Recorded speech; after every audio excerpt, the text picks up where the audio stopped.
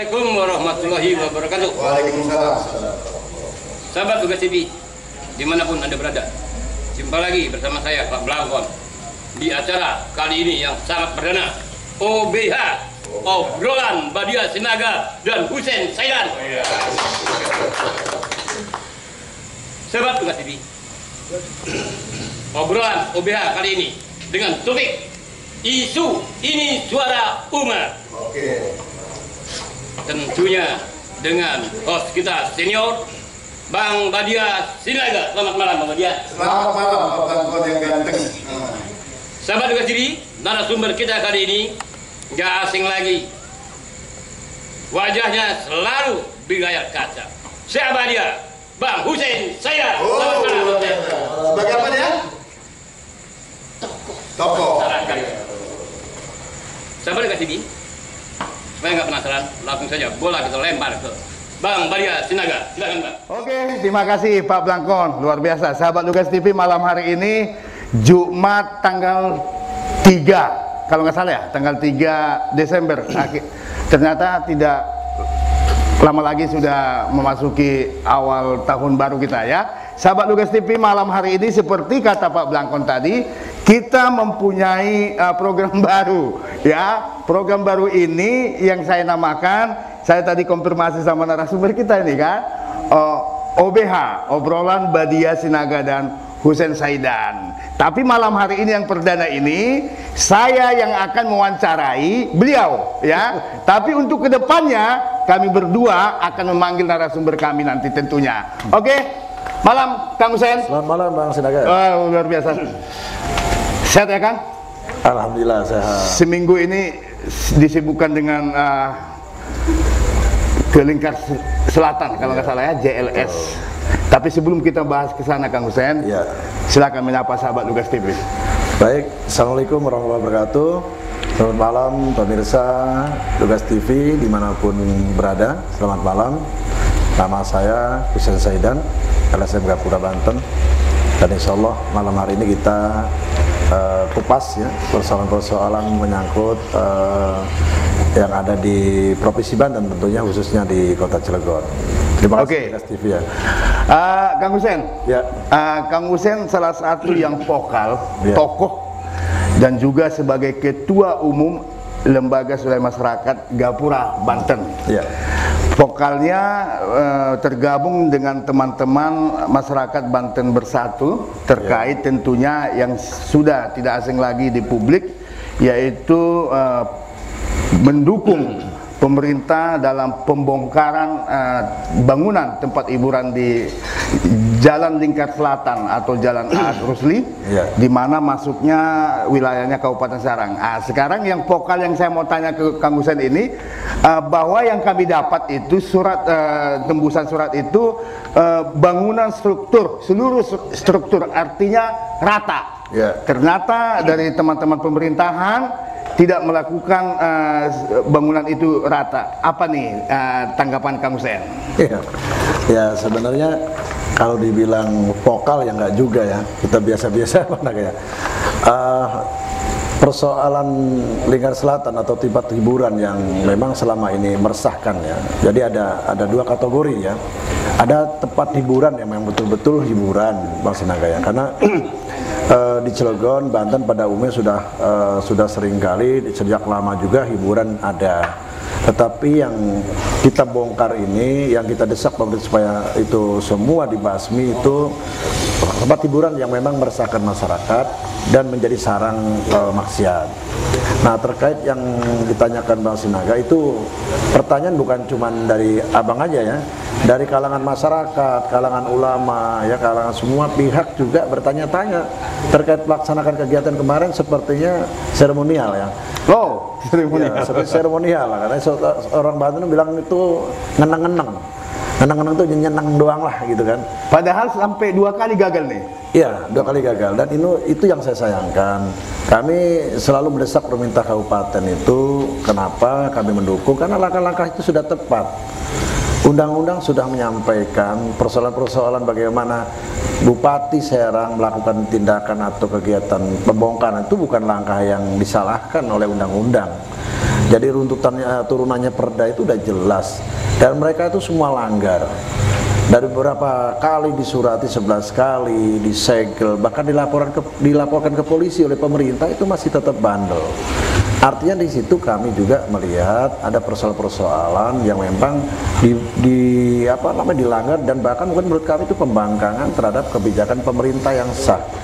Sudah makar artinya mereka seolah-olah eh, tempat dia ini tempat negara sendiri tentunya semua, semua usaha itu dibolehkan tetapi kalau yang usaha itu melanggar apalagi di Banten ini kultur budayanya jelas. Artinya sudah sering orang kenal bilang seribu ulama ya kan? Iya. jadi ya tolonglah dijaga. Kultur budaya Banten jangan sampai dijatuhkan marwah Bantennya.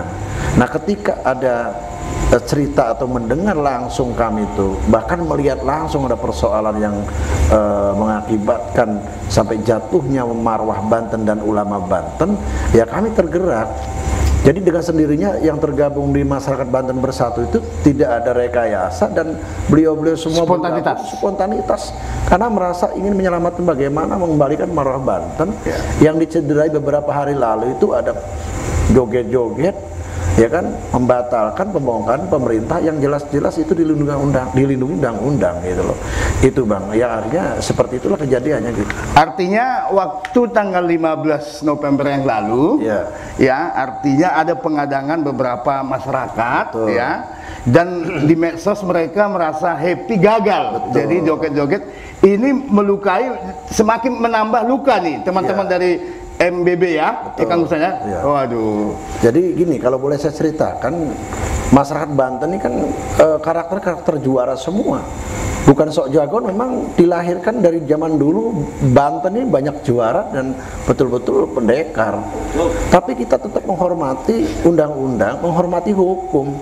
Kalau kami pada saat itu tetap tidak menghormati hukum, ya mohon maaf tidak minta tolong dengan pemerintah ya udah udah rata dari dulu kan. Dari awal-awal udah rata. Karena kita ini orang yang mengerti hukum kami juga mendirikan LSM ini berdasarkan undang-undang dan taat aturan ya kan. Tetapi ketika aturan dan undang-undang itu turunnya sampai perda itu tidak dilaksanakan sama mereka maka ya siap-siap aja masyarakat akan melakukan ya hukum adat tadi hukum adat itu nggak boleh dihilangkan negara-negara maju sampai sekarang tuh nggak bisa menghilangkan hukum adat ya kan Oke. jadi di undang-undang diciptakan oleh pemerintah itu untuk melindungi masyarakatnya tetapi kalau undang-undang sudah diciptakan untuk melindungi masyarakatnya toh juga nggak bisa ya jangan salahkan masyarakat kan gitu pakai hukum adat gitu. Oke, menarik nih Kang Hussein. Ah, di Banten ini hiburan seperti apa sih yang eh, menurut Kang Hussein itu layak lah untuk eh, artinya kita sebagai manusia tentunya butuh Iya. hiburan. Hiburan seperti apa sih yang teman-teman daripada eh, MBB ini? Ya, kalau di Banten ini kan sudah jelas mayoritas Islam. Kita tidak menolak orang Kristen, orang Nasrani, semua saudara-saudara kita. Lakum dinukum waliyadin. Ya untukmu agamamu silakan masing-masing bertempatlah di bersandar di daerah Banten, tetapi yang tidak bersinggungan dengan para ulama, dengan para masyarakat yang pengen hidup tenang itu kan. Nah, yang yang menurut saya, menurut kami, hiburan itu juga perlu ya kan ada dangdut, ada pop, kadang memang di rumah kami juga nggak munafik, sering berkaraoke di rumah kalau lagi pusing-pusing ya bergembira menyanyi gitu kan.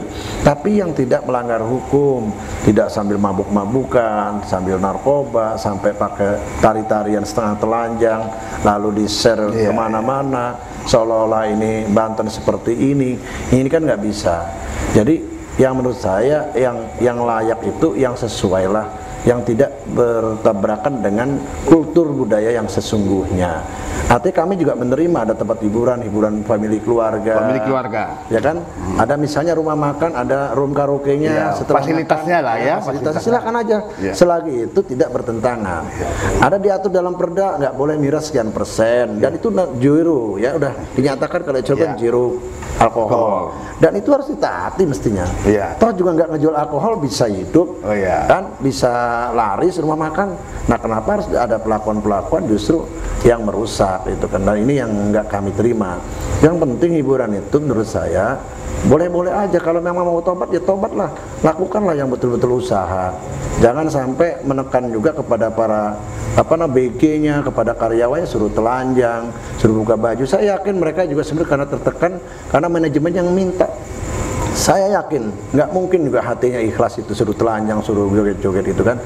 Tetapi ketika itu tuntutan ya mereka nggak bisa disalahkan. Yang kita salahkan siapa? Ya pemerintah karena membiarkan gitu dan itu harus dimusnahkan gitu. Oke, sahabat Lugas TV semakin menarik nih. Ah, Kang Hussein, ah, saya mau tanya juga nih Kang Hussein. Iya.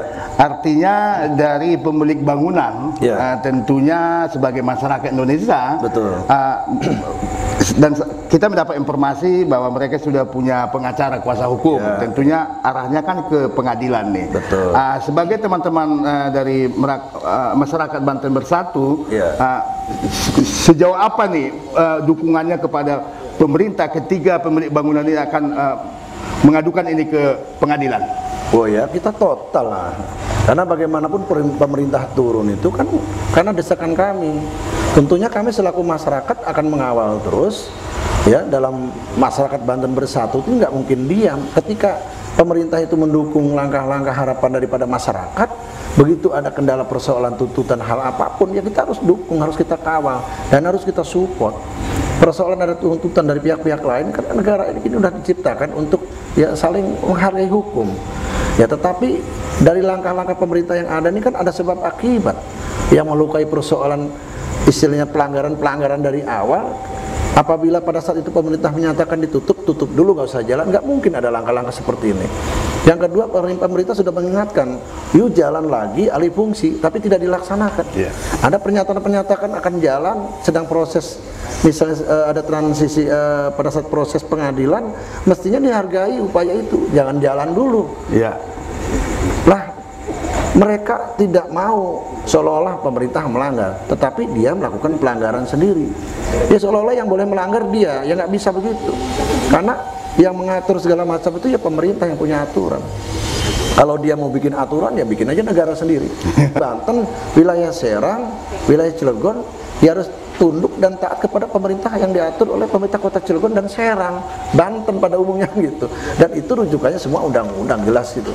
Oke, Ah, Kang Hussein, sem- di di medsos atau di pemberitaan di media online itu eh, kemarin juga eh, beberapa minggu yang lalu itu ah, ada selebaran ataupun piagam penghargaan salah satu eh, tempat hiburan ya. Ya. Artinya di situ pajak hiburan. Nah, bahkan publik bingung loh. Sebagian yang tidak tahu nih ah, ah, tanggapan daripada teman-teman MBB ya. Betul. Artinya eh, mereka punya eh, piagam penghargaan tentang pajak hiburan. Iya. Dari kacamata Kang Hussein. Ya, saya sih mendukung langkah-langkah itu diberikan apresiasi sebagai eh, langkah pemerintah menghormati, berterima kasih kepada para pihak yang telah membantu dalam rangka mendongkrak PAD, Ya. salah satunya pajak hiburan. Tetapi yang kami lihat dan kami sudah klarifikasi juga semua yang terlibat dalam urusan itu kan mereka juga haji, mereka juga beliau-beliau itu eh, agamanya juga Islam, pemimpinnya juga Islam, ya kan? Yang mereka beliau-beliau ketahui hiburan yang ada itu selama ini justru hiburan yang memang dikategorikan yang memang mendukung eh, termasuk salah satu fasilitas rumah makan yang disampaikan tadi yang Ah. yang menghormati kultur budaya yang ada. Iya. Nah makanya Bu Bupati aja bingung sampai ada kegiatan-kegiatan di share begitu kan, Iya. ya sampai ada langkah-langkah pembongkaran. Ah. Berarti apa? Karena Ibu Bupati itu nggak mungkin mengetahui, bukan saya membela. Iya. Kalau Bupati itu mengetahui, nggak mungkin Bu Bupati melaksanakan sampai ada teguran, sampai nyegel, sampai terakhir ini sampai membongkar, walaupun tidak merata. Karena ini mungkin ada ada sisi lain yang berdasar pertimbangan pengampunan menurut saya. Dan saya kira juga uh, kami masyarakat tidak mau terlalu zolim juga. Kalau memang itu dinyatakan dianggap selesai sampai di situ toh tidak diratakan nggak ada masalah. Cuman apa ada jaminan tidak melakukan pelanggaran lagi? Ada jaminan. Nah, kalau ada jaminan tidak melakukan pelanggaran, kita manusia biasa. Allah aja menurut kami, kepercayaan kami sebagai orang muslim maha pengampun. Kalau ketika memang pemerintah itu memberikan pengampunan dan mereka bertobat tidak melakukan lagi, ya silakan. Kami terima. Tetapi jangan sampai eh, membuat suatu krisis kepercayaan. Sebenarnya para ulama, para beliau-beliau yang sudah berjuang kemarin itu yang bergabung dalam gebrak sebelum kami turun itu kan sudah apa eh, sudah kelimat yang sudah tidak percaya lagi terhadap apa alasan-alasan mereka sehingga mereka maunya semua rata gitu kan. Dan itu yang dianggap bahwa ini jolim tidak jolim beliau itu sudah tidak percaya lagi. Dan kami melihat itu memang ada permainan-permainan. Eh, sebelum pelaksanaan ini kan ada pembongkaran cuman diketok dibolongin Ya. selesai. Simbolis. ya simbolis. Digembok depannya bikin pintu sebelah di polis lain juga dicabut gitu. Jadi ini apa nah tapi gini bang Senaga ya kita sampaikan juga Cilegon kita harus apresiasi Ya. ya kita yang bagus kita baguskan Nah, Cilegon bisa kerjasama dengan Kapolres Cilegon, pemerintah daerahnya dengan dengan baik sehingga bisa menutup seluruh tempat hiburan. Walaupun beberapa hari ini saya dengar ada lagi yang nyolong-nyolong tuh, Oh. ya kan? Berapa tik nyolong-nyolong itu yang pemerintah belum tahu. Kita sudah laporkan kemarin ke Satpol PP bahwa ada perlakuan-perlakuan tempat hiburan yang sudah mulai nyolong-nyolong itu. Padahal itu sudah ada jelas pemerintah Cilegon sudah menutup semuanya kan. Nah, ini juga harus kita sampaikan. Nah, kenapa Serang tidak bisa? Ya tapi mudah-mudahan ini ada hikmah lah mungkin eh, berapa kejadian kemarin itu belum ada koordinasi yang sejalan nah mudah-mudahan ini juga bisa disampaikan bahwa tempat hiburan itu bukan dilarang di tempat kami silahkan dari dulu juga ada tetapi yang tidak bertentangan dengan kultur budaya Banten Kearifan lokal. ya kearifan lokalnya harus dihargai juga gitu. Oke, eh, tentunya Kang eh, dengan imbas dampaknya ini akan menimbulkan eh, banyak pengangguran. Ya. Tentunya eh, pekerja yang ada di di gedung-gedung hiburan tersebut, Ya. Eh, baik itu pendamping karaoke, baik itu untuk pelayan-pelayan. eh, Dari sisi eh, merak- eh, masyarakat Banten Bersatu ini eh, ada solusi atau eh, memang pekerja ini asli orang Cilegon atau seperti apa nih Kang Hussein dari pandangan dari teman-teman MBB? Ya, saya akan jawab itu berdasarkan hasil survei kami, investigasi kami eh, dengan teman-teman, ternyata memang 80% ya 80% luar ya, Orang luar Cilegon. Tapi berat- bukan berarti kami juga itu tidak Ya. eh, memberikan solusi. Eh, Karena begini Bang, kalau bicara eh, resiko pengangguran, kita lihat PT Krakatau Steel. Bukan ratusan orang PT Krakatau Steel mem-PHK karyawan tuh ribuan. Iya. Dan rata-rata itu orang Cilegon. Tetapi ada nggak yang berpikir bagaimana resiko itu? Sekarang begitu. Menarik, menarik. Mohon maaf ya. Iya. Nanti kalau mau lebih berpikir, kenapa mesti lebih memikirkan? Mohon maaf, jablay jablay, jablay juga manusia, nggak akan ada mereka punya niat untuk jadi jablay. Bisa saja mereka juga karena keadaan ekonomi. Kondisi. Ya kita hormati mereka juga manusia. Tapi ketika itu ada pekerjaan-pekerjaan yang memang melanggar daripada aturan, ya harus diluruskan. Bukan kita menghilangkan pekerjaannya, tetapi meluruskan daripada pekerjaannya sesungguhnya sebenarnya. Kan kalau kita lihat sekarang nih pemerintah sudah tidak kenapa tidak membongkar sampai rata? Kalau yang saya lihat ada sisi pengampunan. Walaupun banyak yang nggak terima, banyak yang nggak setuju, dan banyak masih curiga bahwa ini akan main-main. Nah, tetapi di situ sinyal daripada pemerintah yang saya lihat itu masih memberikan tenggang waktu sampai dia sadar. Dan itu kesempatan harus digunakan, mestinya bertobat. Selain itu kami punya pemikiran dan memang eh, seluruh masyarakat Banten ini yang memang betul-betul muslim punya keyakinan bahwa apabila ada maksiat dibiarkan maka Allah akan murka. Kalau Allah sudah murka, alam ini semua juga musibah. Nanti air laut naik, semua timbul musibah tsunami, semua bisa nge Redel ngebongkar seluruh jagat di Banten ini, siapa yang bertanggung jawab? Jangan gara-gara segelintir orang yang kita pikirkan hanya untuk makan dan perutnya, lalu ada resiko-resiko yang memang harus kita tanggung yang nggak boleh juga. Karena kami punya keyakinan kepercayaan itu dari Al-Quran. Semua itu ada keyakinan. Ya tentunya kami juga yang punya alasan supaya moral moral anak-anak kita nih tujuannya supaya apa? Supaya baik. Kalau itu dibiarkan bagaimana nasib anak-anak kita itu Bang Sinaga itu? Oke. Ya. Jadi Kang Hussein nih, Ya. bahwa kota Cilegon itu adalah kota perdagang, eh, pelabuhan, Ya. ya, dan juga ratusan industri, Betul. ya. Ada sebagian berpendapat Ya. eh, bahwa hiburan itu dibutuhkan. Betul. Mungkin ada kelas hiburannya seperti apa, ya, Ya. kan, gitu hiburan. Eh, beberapa waktu lalu kami juga eh, podcast dengan anggota dewan kita di Cilegon. Ya hiburan boleh, tapi hiburan keluarga, ya, gitu. Betul, ya. Ah, tapi fakta nih eh, dengan ratusan industri dan kota eh, pelabuhan, eh, bagaimana pihak daripada teman-teman eh, MBB masyarakat Banten Bersatu ini Iya. ada nggak eh, hiburan yang yang dibutuhkan eh, para perantau khususnya Iya. orang-orang daripada kapal Iya. orang ada nggak khusus solusi yang ditawarkan dari teman-teman kepada pemerintah Ya. Jadi kami tetap berprinsip pada dasarnya semua harus saling menghormati berdasarkan aturan yang ada. aturan yang ada Nah, kami pergi misalnya berkunjung ke Australia. Ya. Tentunya pemerintah Australia sudah punya aturan dan budaya di sana yang kita harus taati itu. Iya. Ya, sebaliknya mereka juga turun dari ketika mereka dari sana dari Korea, dari Jepang turun ke Indonesia sudah ada kesepakatan. Sudah ada misalnya perjanjian mereka dan mereka tujuannya bukan untuk hiburan di sini. Betul-betul ingin membantu suatu investasi dan bekerja. Dan itu harus dilaksanakan. Ketika mereka mau menghibur diri, ya harus ikutin aturan. Dan itu harus ditegaskan oleh pemerintah. Kalau you mau silakan berhibur diri di sini. Kalau enggak ya silakan. Jadi tidak ada kaitannya dengan masalah investasi itu enggak ada. Oke. Tidak ada namanya misalnya di sini nggak ada tempat hiburan, terus tiba-tiba investasi hengkang nggak akan ada. Ya, tidak ada dalam perjanjian negara saat di mana pun bahwa setiap investasi ini wajib menyediakan tempat hiburan. Nggak ada itu. Semua itu nggak ada yang saya lihat. Tapi kita juga menghormati ketika mereka mungkin di dalam mesnya, di dalam rumahnya masing-masing dia minum miras, ya silakan aja. Ketika itu tidak dipertontonkan, silakan. ketika Kan tidak dipertontonkan Iya. Misalnya dia mungkin menghibur diri, mau karo kita sambil mabok, ya nggak boleh disahkan di dalam aturan yang memang dilihat layak umum. Yang seolah-olah Cilegon, Serang, Banten ini seolah-olah bebas amat maksiat. Ini nggak boleh. Tapi ketika orang Barat mereka ada di Indonesia di rumahnya masing-masing, ya itulah ya dalam Al-Quran catatannya lakum dinukum waliyadin ditutup antara mereka dengan Allah. Jangan dipertontonkan. Ya ada sumber-sumbernya nyuplai silakan aja sama-sama kepercayaannya toh.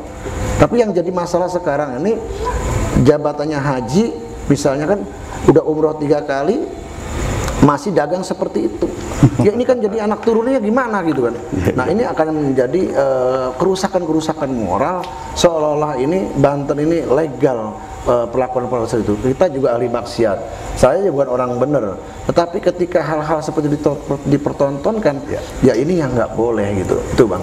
jadi eh, tidak sesuai dengan peruntukannya Tidak sesuai. kira gitu ya Ya. kalau bangunan itu artinya izin mendirikan bangunan yang diberikan pemerintah contohnya A Ya. mereka perbesar dan tidak sesuai dengan usaha yang di- ditentukan oleh pihak Betul. pemerintah Jadi gini bang, saya tambahin dikit. Jadi supaya juga mereka paham, kami sebagai eh, pemuda, eh, bahkan lembaga di Banten ini tidak melarang siapa pun ingin berkontribusi dalam segi usaha, menerima siapa pun yang ada di bumi Banten ini untuk saling bersaing dalam usaha dan memperkaya dirinya dengan keluarganya.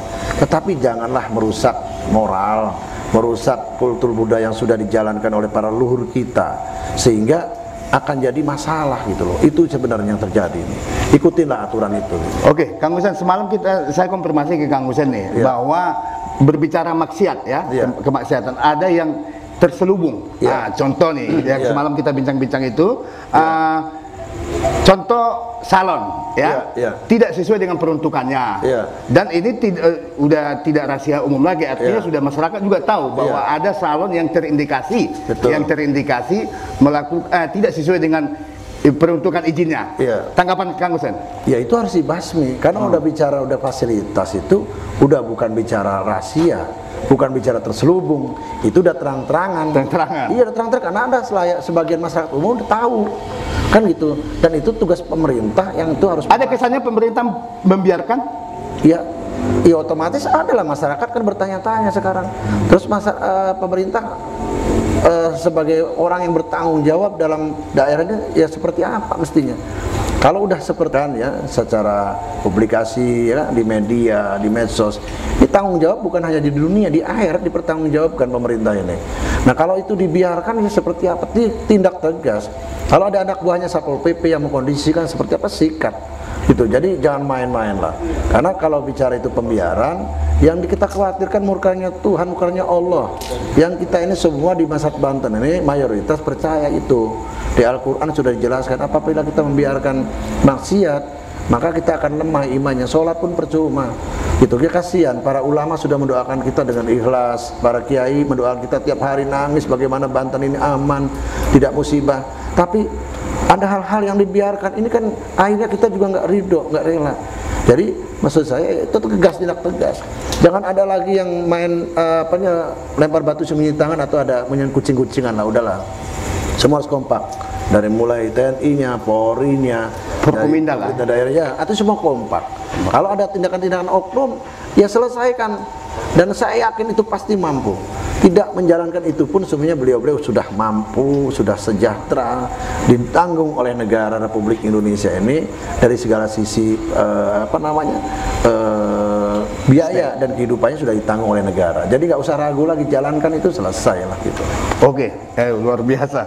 Sahabat Lukas TV enggak terasa, tapi kita mau ada dua dua pertanyaan lagi ke Kang Hussein. Ah, Kang Hussein, ah, bahwa zaman sekarang kan digitalisasi nih Kang Hussein, Ya, ya. ya. Kalau bicara maksiat tadi zina segala macam dari HP juga bisa Kang Iya, ya. iya. Ja- eh, dari YouTube, ya Betul, kan, Eh, iya, dari iya. eh, aplikasi-aplikasi lain. Iya. Dan masyarakat sangat mengapresiasi perjuangan dari teman-teman daripada masyarakat eh, eh, masyarakat Banten Bersatu Iya, ya. iya. Kalau tidak salah yang di, dimotori oleh teman-teman Gebrak ya. Iya. Nah, belakangan ini karena tidak kelihatan dari, dari pihak pemerintah nggak ada respon, Iya. maka bergabunglah dibentuklah masyarakat Banten Bersatu. Iya. Nah, dan publik mengapresiasi itu Kang Hussein. Iya, Nah, iya. Kembali pertanyaan saya, berbicara maksiat, Betul. tentunya tadi yang saya bilang itu zaman digitalisasi ini Iya. peluangnya sangat besar untuk melakukan zina, Iya. yaitu melalui aplikasi-aplikasi yang ada. Iya. Dari pribadi internal dari teman-teman eh, masyarakat Banten Bersatu, ada nggak membahas sampai ke sana, Kang Hussein? Ya, tentunya sudah lama itu kan jadi pemikiran kami Oh. juga. Karena kami kan punya anak juga. Iya. Punya anak masih balita, masih apa namanya di bawah umur, Remaja lah ya. Remaja, ada yang balita di bawah umur. Semua pegang HP sekarang nih. Bahkan anak saya yang 4 tahun, 5 tahun sudah pegang HP dan punya aplikasi itu pakai internet ya. Ketika ada hal-hal yang memang menurut ke- kekhawatiran kami itu terbuka, ya risih juga. Tetapi yang kita jalankan sekarang ini yang sudah terlihat dengan mata lah. Di depan mata ini kalau kita biarkan ya nggak bisa juga. Makanya harus saya tuntaskan, kami tuntaskan dulu bagaimana yang ada di depan mata dulu. Ya. Nah setelah itu memang kita juga harus eh, nanti mendorong kepada pemerintah ada konten-konten yang seperti Ya. itu supaya tetap dihapus. Ya. Ya terutama dengan konten-konten yang kaitan dengan misalnya game Ya. dan itu merusak dan itu tujuan kami. Tetapi kami juga tidak ingin ada pihak-pihak yang dirugikan. Contoh sekarang aja ini kan kita contohnya membahas maksiat sebenarnya nggak mungkin bisa kami mba- membahas mas, maksiat ya kelas malaikat kelas Rasulullah Iya, tidak bisa. nggak bisa, ya. tapi minimal menumpas persoalan-persoalan yang jadi tontonan Iya. yang jadi akhirnya eh, dapat eh, mempengaruhi eh, sekian drastis sekian persen itu anak-anak muda dan anak-anak turunan kita. Kita nggak boleh itu. Mau jadi apa kita? Walaupun saya ini preman walaupun saya ini tukang mabok walaupun kita ini misalnya ahli maksiat jangan sampai anak turun kita ahli maksiat. Kalau bisa anak-anak kita itu pesantren. Tapi ketika mereka mereka sudah hobi sudah enak-enakan enjoy ke tempat seperti itu ya kira siapa yang bertanggung jawab Artinya kalau pertanyaan tadi ya tetap kami ada langkah-langkah upaya rencana mendesak pemerintah itu bukan hanya di Banten Ya. tapi ke pusat. Insya Allah itu dalam dekat. lah pada Nah, kenapa sampai terbentuknya eh, masyarakat Banten bersatu? Yang kami lihat ini anggapan kami awalnya bukan membiarkan, mempercayakan kegebrakan karena itu dari berapa ratus DKM bersatu Ya. para ulama ya kan. Dan memang ini apa namanya mungkin wasilah Bagaimana antara pendekar, peguruan dan kiai ulama ini bersatu? Inilah mungkin pintunya Allah sudah menakdirkan. Momennya di sini. Nah, ibarat filosofi mak ini batu besar yang harus dihancurkan dengan martil yang besar. Oh, iya. Iya kan? Jadi nggak bisa pakai martil kecil tangtung tangtung nggak bisa. Jadi masyarakat Banten bersatu dari seluruh komponen OKP, LSM, pendekar, peguruan dan mungkin kita nggak nampik dari semua pihak yang tadinya mendukung, saya minta semua berbalik dapat hidayah mendukung langkah-langkah kami bergabung supaya jadi eh, apa namanya kekuatan pukulan yang paling besar sehingga bisa cepat menghancurkan tempat-tempat seperti itu. Oh, Gitu. luar biasa. Mungkin yang terakhir ini, Iya. Kang Hussein, silakan uh, pesan-pesan kepada masyarakat dan sahabat Lukas TV. Ya, eh, kami eh, hanya mungkin eh, nitip apa namanya eh, pandangan. Kalau pesan mungkin terlalu ini ya. Eh, pada dasarnya kami ini manusia biasa, bukan manusia suci, bukan manusia yang sempurna. Tentunya kami juga eh, mungkin banyak dosa dan banyak maksiat, tetapi kami memohonlah kepada pihak-pihak terutama mungkin pihak yang mungkin merasa sekarang ini dirugikan. Kami memohon maaf, tidak ada maksud zolim atau menganiaya atau merugikan, tidak ada itu niat. Tapi itu ada sebab akibat. Mudah-mudahan kalau teman-teman ridho, teman-teman ikhlas dalam pelaksanaan kami kemarin, Allah akan mengganti keberkahan e, berlipat ganda. Mudah-mudahan Allah kasih rezeki yang berlipat ganda sehingga bisa kembali kerugian itu jadi keuntungan. Dan mudah-mudahan dibukakan usaha yang selebar-lebarnya mendapat meraih keuntungan yang sebesar-besarnya atas usaha yang tidak melakukan kegiatan-kegiatan yang memang dari sumber-sumber maksiat. Saya yakin bumi Banten ini bumi kayaan dari mana-mana bisa apa namanya usaha yang lain tidak mesti harus melakukan hal-hal yang memang dibenci oleh para ulama bisa menyakiti para ulama dan bisa membunuh daripada marwah Banten yang akhirnya menyakiti seluruh masyarakat yang ada di wilayah Banten. Itu saja itu saja mungkin pesan kami yang lain-lain mohon juga kepada teman-teman yang sudah bergabung di masyarakat Banten Ya. Bersatu Ya. karena saya selaku pribadi selaku penanggung jawab dalam eh, forum itu kami mohon tidak terpancing dengan hal-hal eh, gosokan ada hal-hal lain ketika sekarang sudah mendengar tempat itu tidak eh, rata pembongkarannya. Tentunya kami juga akan melakukan diskusi. Insya Allah dalam waktu dekat kami juga akan melayangkan surat ke gubernur eh, minggu depan supaya juga gubernur punya tanggung jawab. Karena sebelum dilantik pada saat pelantikan bupati dan wali kota eh, Cilegon gubernur, gubernur itu sudah menyampaikan pesan agar tetap membasmi Ya. sarang-sarang maksiat. Dan itu kami punya videonya. Ya. dan itu eh, perintah perintah gubernur jadi kalau perintah tidak dilaksanakan oleh bupati dan wali kota maka kami selaku masyarakat Banten menganggap pemimpin di Kabupaten Serang maupun Cilegon itu tidak amanah.